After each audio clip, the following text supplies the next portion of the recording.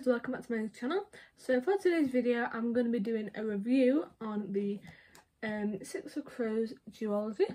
So if you watch my Shadow and Bone trilogy review you would know that I started reading these like basically while I was doing that review. But I finished them now so let's get on to the video. Okay, so first I'm going to talk about the plot of this book. So this was out of the two probably my favourite one. I always prefer the first books in the series just because you're meeting the characters and you're getting to know the backstories a little bit. And it just kind of, it's like the starting point and I always love that. So basically this book is about,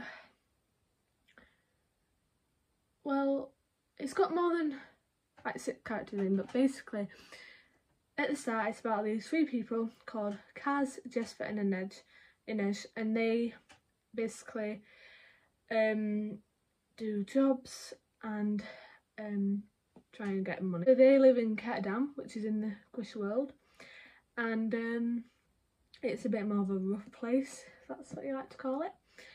Um, I haven't read this fucking ages, so again, see, I'm not, I'm not very good at book reviews, but yeah. Um, so Kaz Brekker, he's like the main guy, they call him Dirty Hands because there's no job too hard for him basically. He's only like 16, 17, but he's like the best guy in the club or whatever.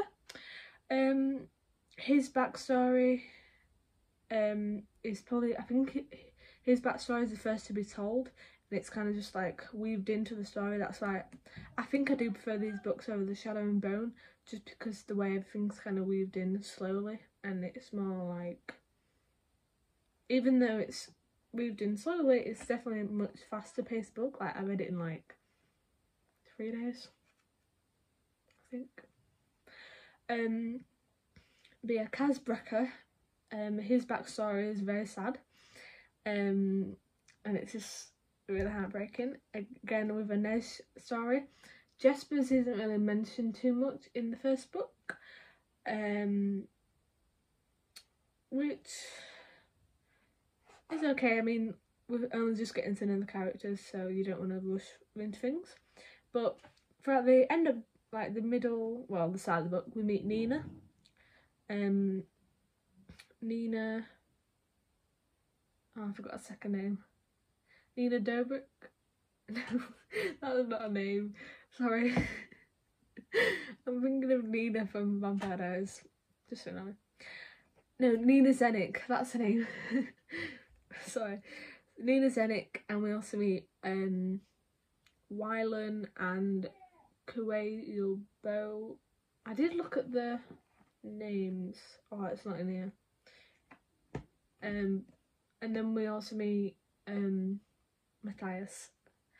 Um, so they're all very, very different characters, which I love. Like, they all have such different personality traits and stories and like how they do things and they still work together really well. Um so basically their whole so Kaz gets kidnapped basically and they ask him to go on a heist to the ice court to destroy the jurda parem which is a drug used to enhance squish powers but it also eventually kills them because it's very addictive. Um, so Kaz Brekker, he takes Inej and Jesper with him, and Nina, and they all go to the ice court to try and find jurda parem. And it's very um suspenseful, like it's really good. I love the whole plot of it. Like there's no messing about with it, it's just straight into it. And yeah, I really like this book. There's a crow on the front because they're called the crows. Kaz walks around with a cane, and on top of the cane is a crow. Um, but yeah, just ah, I love this book so much. I'm just gonna read the blurb.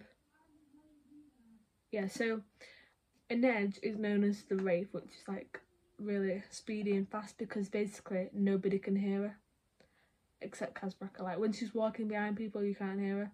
I also watched the Shadow and Bone show on Netflix. Loved it. The only thing I will say, I didn't expect Mal to look like that. I thought Mal if you if you've ever watched Miraculous, Adrien from Miraculous, that's how I imagined Mal for some reason. And I imagined Genya with brown hair. I know she's got red hair in the book, but I just couldn't imagine her with red hair. Um, and David, I imagine him as really old. like I just, even though it's got character descriptions, I always kind of make up my own character in my head that fits them. But yeah, in the Shadow and Bone trilogy, in the Shadow and Bone series, I don't even think we saw like Tolya and Tamar either. We just saw like the Darkling, Mal, Alina, Kaz, and Edge, all them. But even though the plot is completely different to the books, I actually really enjoyed it. And it was cool how they merged them together. Um, so this book, this book is basically like what happens after the heist. So after the heist, um, something bad happens.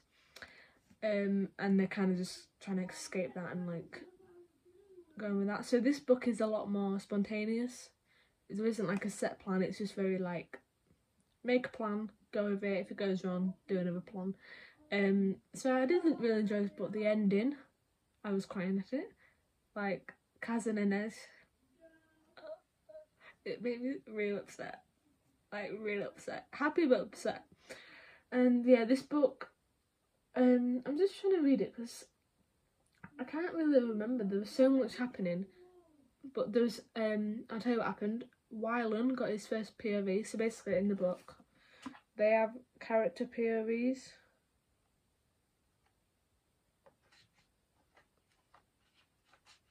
I'm not gonna. So like this one is Jesper's. Um, in the first book we didn't have Wylan's, um, but in this book we do have Wylan's, which is really good because we get to see his backstory, um, told from his perspective. Because in like even though it's set like say Kaz, it's his perspective, um, it's still told from third person. So it's not like I went to the shop. It's like Kaz went to the shop. Do you know what I mean? So when they're talking about Kaz, they still talk about Inej and all them, and this like what's going on, but you get more of like their story a little bit, um, which is nice as well. We get Wylan's story and Jesper and Wylan. I don't. All oh, right, this is gonna be a spoiler now, so skip skip it. So um, Jesper and I do really ship them together. I just feel like it works. Like Jesper's like mischievous one, like the one who's a bit more naughty, but Wylan's like the good one that's a bit stupid. Sorry, that's mean. But he can't like read alright. So But yeah, he's smart but not like book smart if you know what I mean. Um but yeah, I think they go really well together. Kaz and Inej, I'll always ship those two. Just a beautiful match but it's really sad because I'll tell you what happened. So basically, Kaz Brekker, if you if you read the book, you'll know he um his brother basically died in his arms. Um, and he felt, and he, had, he got put. So basically, the flu was going around, or whatever. It was like tuberculosis or something, and they were by themselves. Kaz and his brother Oh, I forgot the brother's name. I forgot the brother's name. But um, then Kaz and his brother get put on this ship with loads of other dead bodies to get them put away. And Kaz is still alive, obviously, so he's screaming out for help, but he can't get out. And then he, um, no one's listening to him, so he gets off the bus, off the ship, with um with his brother, drags his brother along with him, and he swims to shore. And basically, he hates the feeling of touch. Like, he can't touch anybody now because, like, it just makes his skin crawl think of all them dead bodies around him. And he was only young when it happened. Um, I really, why did I forget the name of the brother? But yeah, um, that happens. So he has to wear gloves. Um, so that he doesn't touch anyone because he finds it absolutely disgusting. And obviously with Ned, he can't touch her even though he wants to. So, um, oh, also in this book, Kaz calls Jesper his brother's name, and they're all like, "What? Who's it? Who's that? Who's that?" I wish I could find it, but there's so much. But yeah, it was really. It made everyone like, like what? Who's this? Like why? Like why are you calling me this name when that's not who I am? But yeah, we, I feel like maybe I don't know if it's just because Kaz was just really angry and he felt like he was talking to his brother, or he just like had that memory, or if Kaz sees Jesper as his brother and that's why they're such good friends because he sees like the same traits. Uh, but we don't really get to know much about that. But yeah, this book, and this book made my heart jump because it was so exciting. But yeah, these books, I definitely recommend these.